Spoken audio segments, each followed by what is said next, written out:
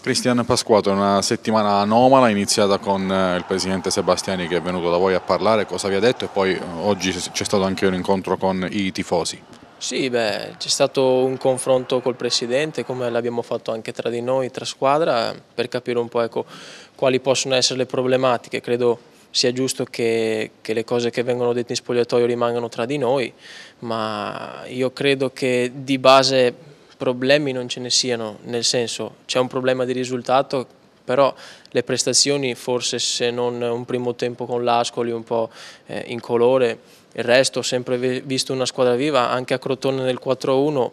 cioè la squadra ha creato 5-6 palle gol, quindi questo deve farci forza, però non possiamo ecco, ogni partita partire in svantaggio perché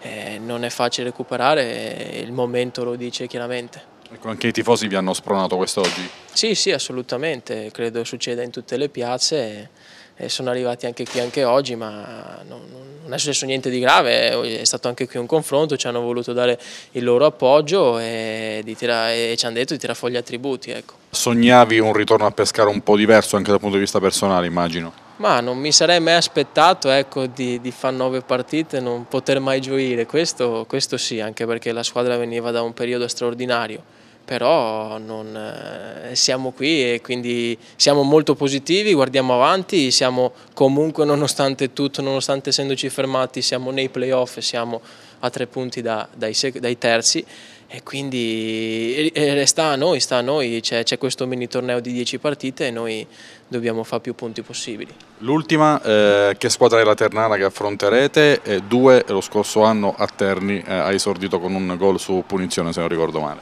Sì, mi auguro che il risultato sia diverso e magari anche non segnando di poter vincere, perché l'anno scorso abbiamo comunque pareggiato. La Ternana è una squadra che sta lottando, sta lottando, per la salvezza anche loro, hanno 40 punti, però è una squadra quadrata e in casa è una squadra tosta eh, come sapete anche voi, l'ho sempre detto, il campionato DB è difficilissimo, lo stiamo vivendo personalmente noi perché dalle stelle siamo un po' alle stalle, diciamo, però ecco, come ho detto prima, massima tranquillità, non dobbiamo aver paura perché sennò veramente le perderemo tutte.